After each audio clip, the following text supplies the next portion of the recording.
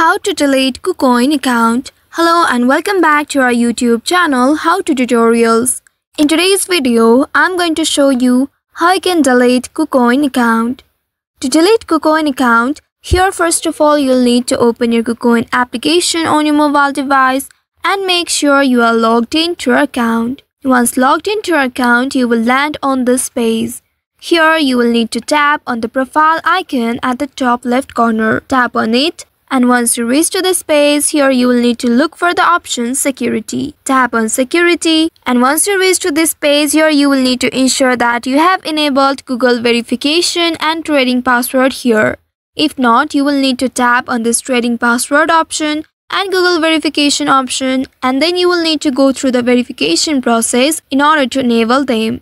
Once they are enabled, now you will need to look for delete account option, which is just below payment methods.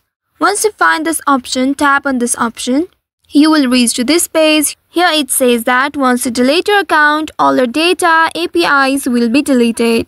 You will no longer be able to log in to the same account again. If you agree with that, then tap on this little circle at the bottom to accept the terms and conditions and then tap on delete account button below. After doing so, now you will reach to this page. Here, you will need to select one of these options where you are leaving or deleting your KuCoin account. You may choose any one of these options and if you want to choose this other option, you will need to specify your region in this text box. And after that, now you can tap on the next button at the very bottom.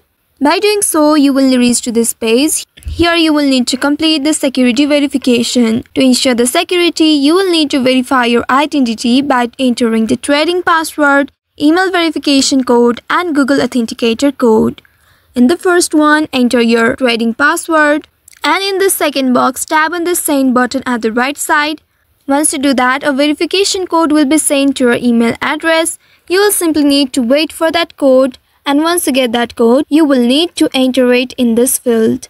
Once you have entered the email verification code, now you will need to enter your Google Authenticator code.